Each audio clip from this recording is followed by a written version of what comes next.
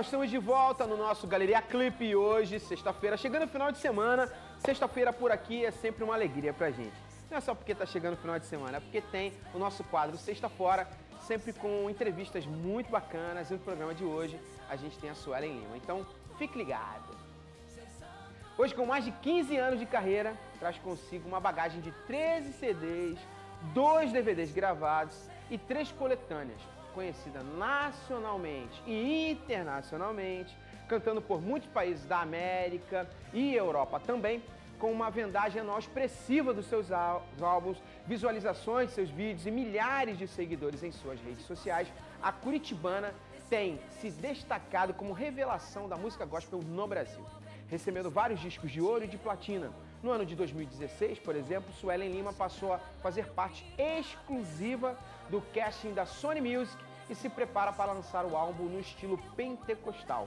E a gente vai é, agora começar esse bate-papo de sexta-feira com essa menina feríssima, Suelen Lima.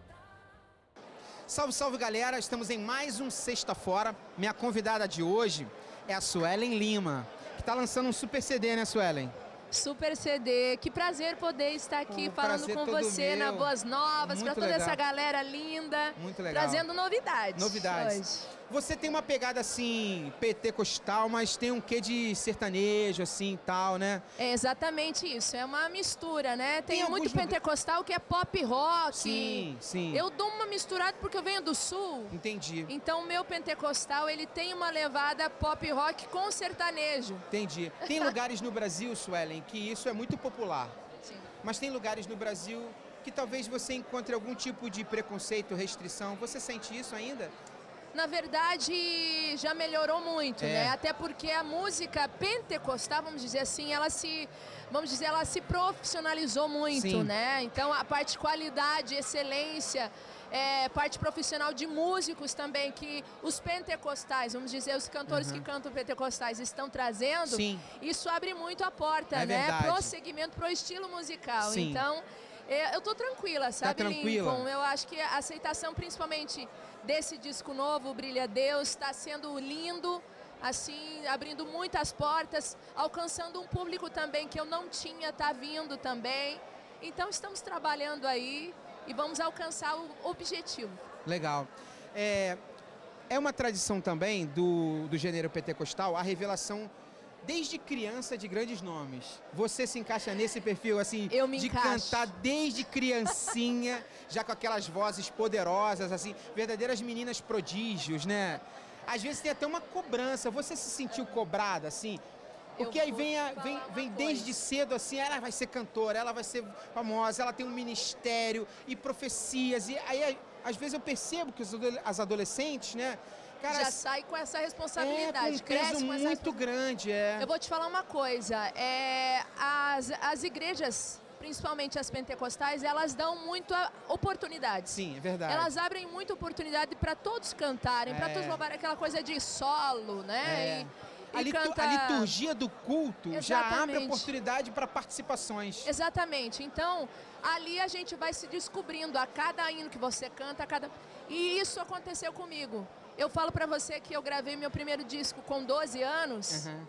Porque era uma cobrança muito grande. Grande. Meu Deus, eu já cantava até em congresso Aham. infantil sem meu disco. Sim. E aí começou a ter essa cobrança. Por que a Suelen não grava um disco? Na época era disco, né? Uhum. Disco, disco.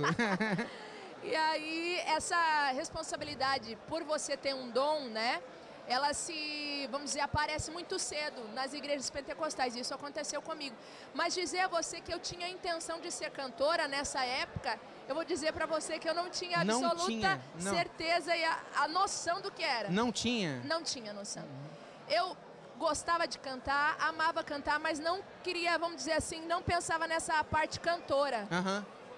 Então as pessoas foram induzindo para isso. Logicamente a minha família, Sim. né, pai e mãe, começaram a ver esse talento e já que somos pentecostais, né, É. Sim, sim, sim. começa aquela fizeram é, esse primeiro disco e são 15 discos já. Suelen, e tem uma parte assim que as pessoas às vezes não falam, que é um preço que se paga por começar numa carreira tão jovem. Sim. Às vezes você as festas, né, das crianças assim, a reunião às vezes na escola, é, às vezes festividades familiares. Existe um preço, às vezes, que a maioria das pessoas não conhece, né? E como, como é para você, com tantos anos de carreira, trabalhar isso? É claro que ministerialmente a gente sempre é, é impulsionado. A, a força do chamado ministerial é muito grande. Mas tem um preço que a galera precisa saber que não é mole, né? Não é mole porque você começa muito adolescente, você não tem noção do que a estrada requer de você. A estrada requer de você uma experiência que você ainda não, não tem. tem.